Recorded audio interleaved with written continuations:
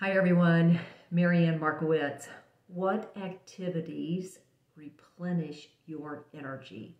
Last week, the dominating theme when I spoke with someone, either recruiting or coaching, I just cannot disconnect.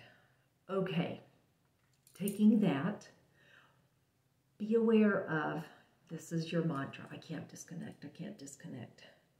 Can you replace that with today I'm going to go to my car, crank up the music, and get my energy back up? I'm going to take time this weekend to go out and um, do my archery. Let's resource together. What are the things that replenish your energy and concentrate on that instead of the mantra, I can't, I can't, I can't. Okay, got it? What are you going to do to replace your energy?